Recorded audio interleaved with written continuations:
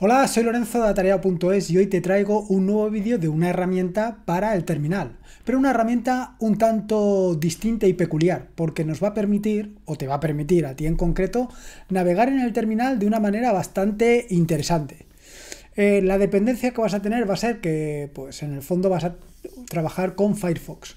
Pero bueno, espero que esto no sea ningún problema. Para mí, Firefox se ha convertido en navegador por defecto y el navegador primordial.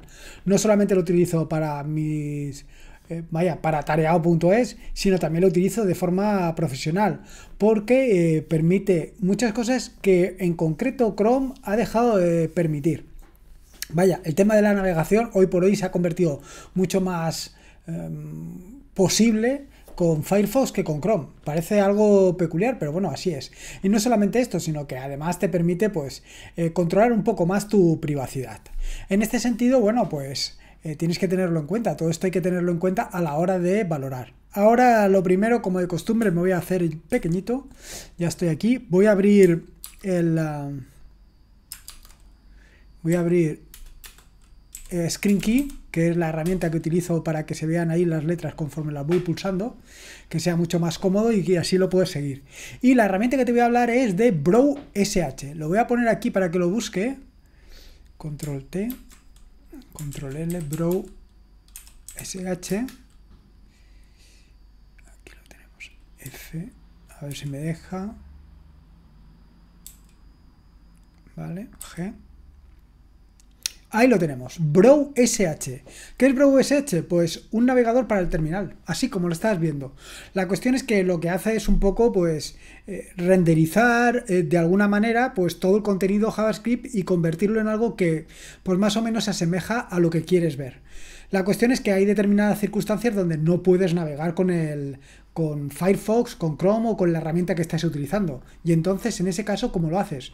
Bueno, pues una opción, una opción muy interesante es esta Brow SH que te va a permitir pues tener una visión global de lo que tenías inicialmente, de la página tal y como es.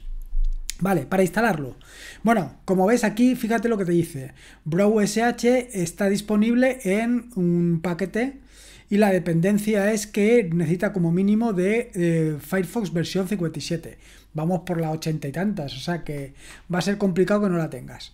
Y la forma de instalarlo, es simplemente hay que descargarse un paquete.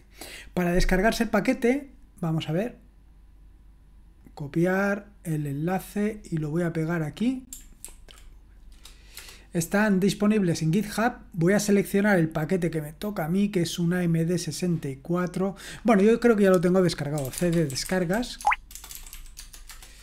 ls bro aquí está y ahora una vez ya lo tienes pues eh, bueno control r w get mm, no control l control c control l ls menos la hemos dicho que era bro sudo dp kg menos i bro eh, voy a desactivar para que no veas mi contraseña súper secreta.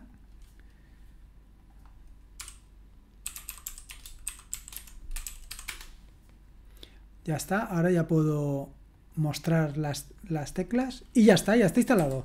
Ahora simplemente Brow SH y a empezar a navegar.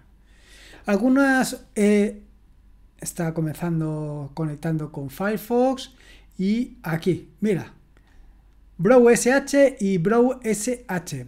Algunas teclas antes de nada, eh, eh, que no me pierda.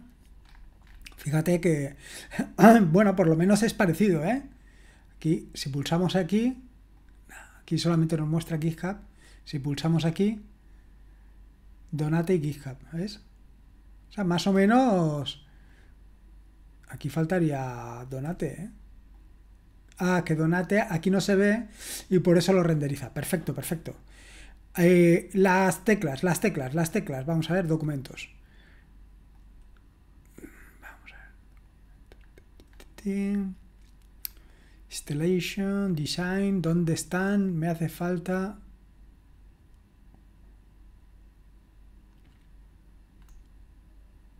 La, aquí está. Esto es lo que estaba buscando, los atajos de teclado. Y para lo primero y principal, control L, igual que en este. Y por supuesto, como no podía ser de otra manera, vamos a ir a tareao.es. Y aquí está. Vamos a ver, control 1. Alt 1. Bueno, no hace una, un renderizado que sea una barbaridad, pero bueno. Ahora, por ejemplo, podríamos ir a podcast. Ahora sí, ahora sí que lo ha hecho un poco mejor.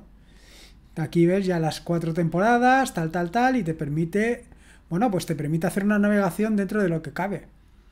Con las teclas de cursor, con las teclas de cursor, bueno, si las utilizo, con las teclas de cursor te permite desplazarte hacia arriba y hacia abajo, hacia derechas y hacia izquierdas. Con control T te permite abrir una, nueva pestaña. Aquí tenemos. Con control barra. Aquí yo lo tengo más difícil porque... A ver si me deja. Esto es, con control barra te permite navegar. Control L podríamos poner ahora, eh, por ejemplo, Google. Control L, google.es. Hombre, para, por ejemplo, las búsquedas en Google, en, en Google, pues van a venir perfectas. Aquí nos dice no sé qué. Español. Iniciar sesión. Todo... Mm. Este no iba, no tira muy bien, ¿eh? Bueno. Mira, aquí está. Bueno, es que me, me pide que me identifique y no me voy a identificar. Vamos a ir a Firefox. ¿Qué pasa si no ponemos nada? nada, que nos pide todo el rato que vayamos a, claro, en la tarea.n, GitHub, vamos a GitHub, GitHub, github.com.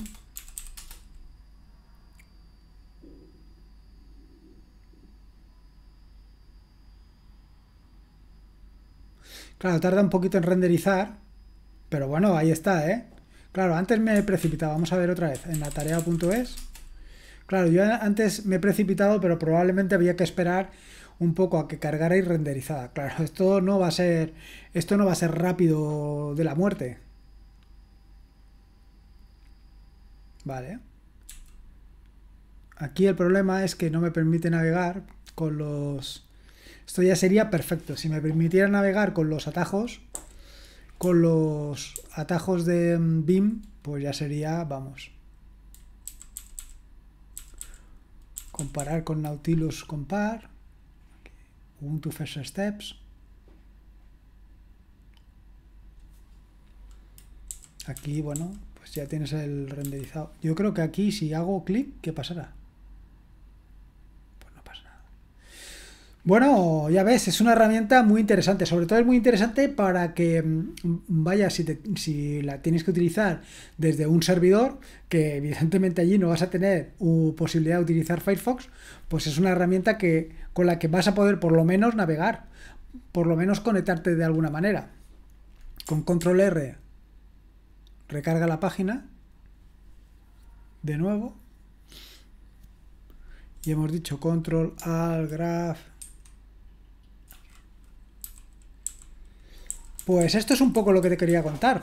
Eh, ya has visto lo sencillo que es, lo fácil que es utilizar eh, Browse y lo cómodo. Eh, es una herramienta que seguro que le vas a sacar muchísimo partido si tienes que echar mano del terminal. Si no tienes que echar mano del terminal, bueno, pues no hay problema. utiliza Firefox y ya está. Así que nada, ahí lo dejo. 10 minutitos para tener un navegador completamente disponible desde el terminal. Un saludo y nos vemos en el próximo vídeo.